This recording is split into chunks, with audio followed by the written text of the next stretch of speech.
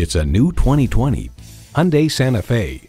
It offers plenty of sport to go with its utility to make it one exceptional vehicle. It comes nicely equipped with features you love.